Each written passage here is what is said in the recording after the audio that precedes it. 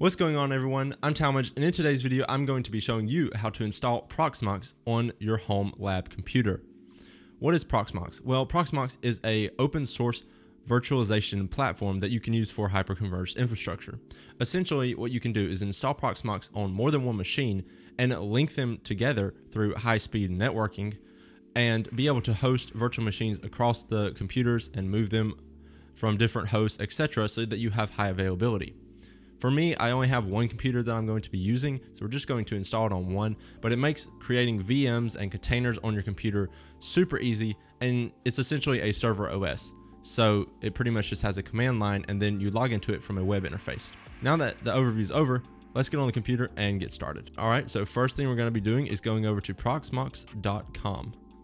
Then we're gonna go ahead and click on the downloads button. You're gonna wanna click on the Proxmox virtual environment and then the ISO images tab. Now there's several different images here. BitTorrent essentially is like a peer-to-peer -peer networking. We're not going to fool with that for this video.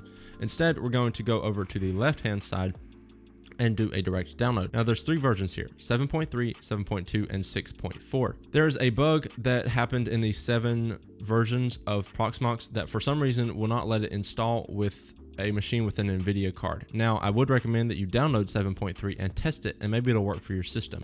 However, for me, 6.4 was the only one that worked, so that's the one we'll go with. So we'll go ahead and click download here, and then we'll wait until the download is done. I'm on a MacBook today, so we're going to be typing diskutil list. This will list all the disks in and plugged into our computer. So make sure you, your USB drive is plugged into your computer when you're running this command. For today's example, our disk is disk 5, so we're going to type diskutil unmount slash dev slash disk 5. Oh, it looks like that threw an error. So it says we'll type diskutil unmount disk slash dev slash disk 5.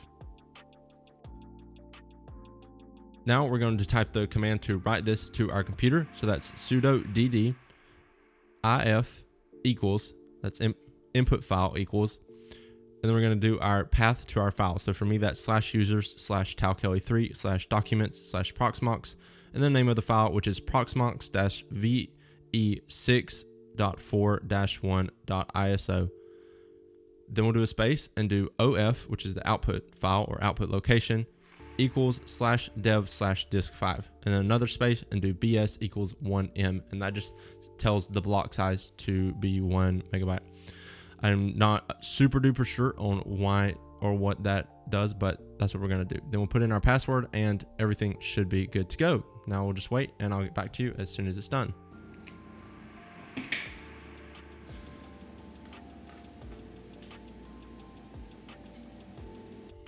Okay, so the first thing you're gonna need to do is as soon as your computer boots up, we're going to have to go to the boot menu and select our USB drive as the boot device. Otherwise, it's just gonna boot into the normal OS that you had already installed. Then we're gonna do install Proxmox VE debug mode. I chose that for this round. Then every prompt that it gives, just press Control D and that will let it proceed. So we'll press Control D runs another little bit, go and ask us to press Control D again, and then we'll press it one more time. Now, as you can see, there's a EULA end user license agreement, so we'll go ahead and we will agree to that. Now we're going to select the target hard disk and then the time zone and locale information for our device. So for this America slash Chicago, then you'll put in your password for this machine for the first time and then you'll confirm it and put in your email address although this doesn't contribute to the name of the user account, unfortunately, but that's just a good thing to note. Next, we'll set the host name, so the fully qualified domain name. So whatever your domain name is on your network, that's what you're going to want to be using in this case. So I'm going to name this t3ve.talkelley3.com. My website is talkelley3.com. Go check that out if you're interested. Um, but T3VE is just going to be my virtualization environment name. And now it's just going to install. Now that it's done, we're going to go ahead and navigate to our server at 192.168.1.222 colon 8006. And the login is going to be root and then whatever password you specified at the beginning. It's going to pop up that we don't have a valid subscription for the server, but that's okay because we don't need one really. This is just for home use. If you want to pay for a subscription, you can, and that will give you access to updates. But for now, this is what we're working with.